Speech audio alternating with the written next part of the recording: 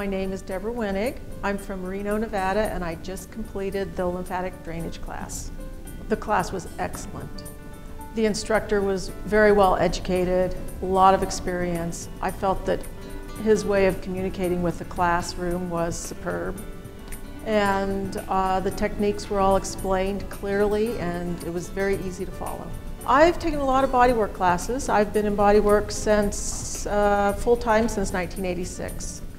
And so I've seen a lot of different techniques and teaching styles and what was presented this weekend gives me a full enough uh, example of this technique that I can go home and, and practice with just two days.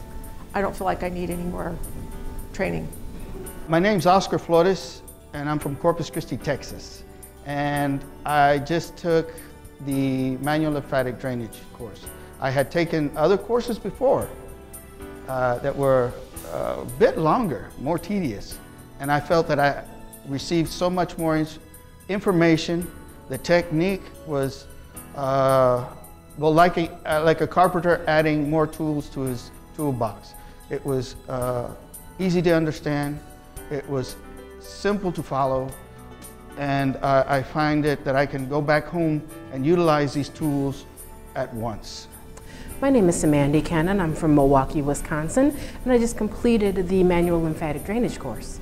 I think that learning manual lymphatic drainage represents a, a, good opportunity to increase my earnings because I can take this anywhere. I can work with plastic surgeons, I can do post-op work, I can work on people, you know, even at uh, clinics who have had minor injuries and who are, are, in need of lymphatic drainage.